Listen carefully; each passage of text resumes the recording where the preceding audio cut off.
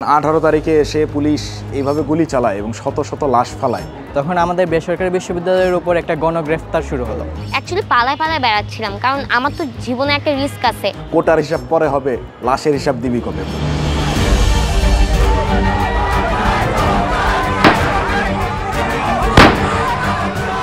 Internet বন্ধ করার আগে তখন তো সম্প্রচার চালু ছিল। লাইভ দেখেই জানতে পারি যে তারা লাইভ এসে বলে আমাদেরকে হল থেকে বের করে দেওয়া হচ্ছে, মারধর করা হচ্ছে হল বন্ধ করে দেওয়া হয়েছে।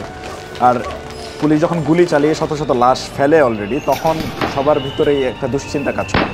এবং আঠারোই জুলাই যখন ইন্টারনেট বন্ধ হয়ে যায়, তখন বেসরকারি বিশ্ববিদ্যালয়ের শিক্ষার্থীরা এইটা ভেবেই রাজপথে নেমে আসে যে ইন্টারনেট বন্ধ করে যে মানুষ হত্যা হচ্ছে এটার পরিমাণ হয়তো বা আরও বেড়ে যাবে।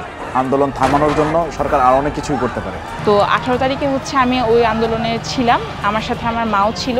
আমরা সকাল দশটার দিকে যাই এবং ততক্ষণে অলরেডি পুলিশ হচ্ছে তখন কানাডিয়ান ইউনিভার্সিটির উপরে চলে গেছে স্টুডেন্টদের এবং বিভিন্ন গেটে কিন্তু তখন অলরেডি ছাত্রলীগের লোকজন অবস্থান করছিল। কিন্তু সম্ভবত এত স্টুডেন্ট ছিল, এত এত ছাত্রছাত্রী ছিল এবং তার, তাদের সাথে অভিভাবকও ছিল যে তারা আউট নাম্বার হয়ে যায়, তেমন কিছু করতে পারে নাই। আন্দোলনে বেসরকারি বিশ্ববিদ্যালয়ের যে জিনিসটা সবসময় আড়ালেই থেকে যায়, সেটা হলো যে পাবলিক বিশ্ববিদ্যালয়গুলোতে যখন হলগুলো খালি করে দেওয়া হলো, তখন আমাদের বেসরকারি বিশ্ববিদ্যালয়ের উপর একটা গণগ্রেফতার শুরু হলো।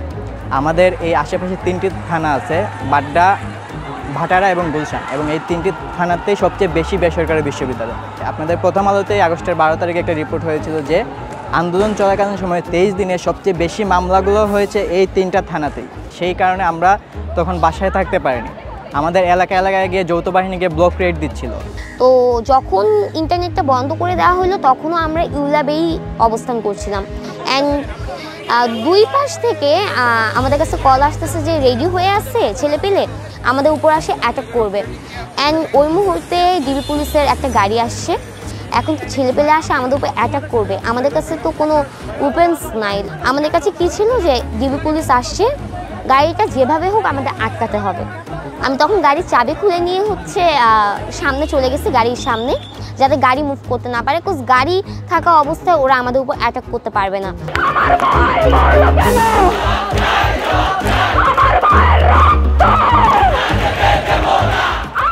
আমরা যখন কানাডিয়ান ইউনিভার্সিটির সামনে ছিলাম, আমাদেরকে পুলিশ উপর থেকে হচ্ছে টিয়ারসেল চলে নিজেদের ই জন্য। তো তখন দেখা যায় যে আমার মাথার এখানে টিয়ারসেল লাগে, আমার পেটে লাগে অ্যান্ড আমার সাথে আমার মারও লাগে।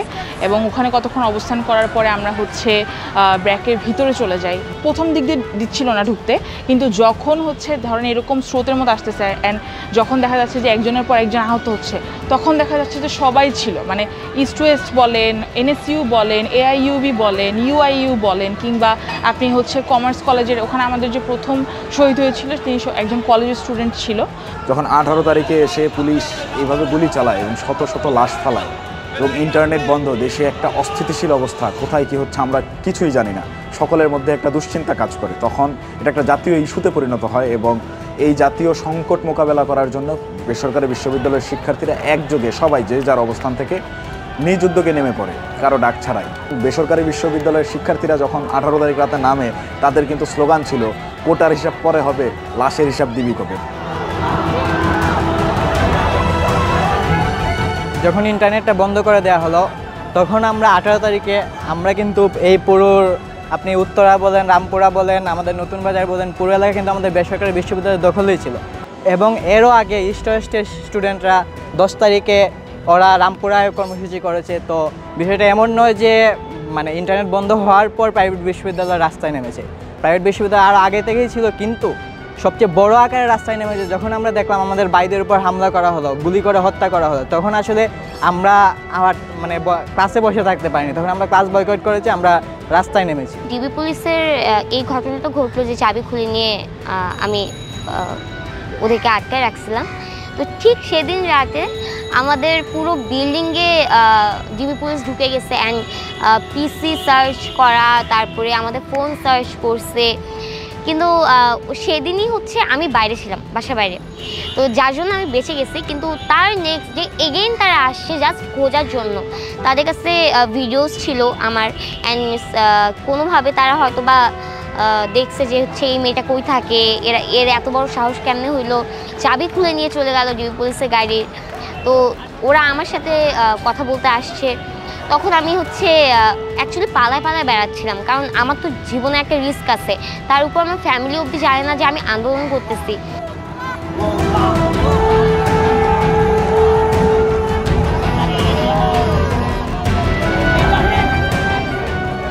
বিপ্লব উত্তর সময়ে এসে রাষ্ট্র সংস্কারের যে আলাপ এখন চলতেছে এই রাষ্ট্র সংস্কারের কার্যক্রমে বেসরকারি বিশ্ববিদ্যালয়ের শিক্ষার্থীদের অংশগ্রহণ ওইভাবে কারও চোখেই পড়ে নাই।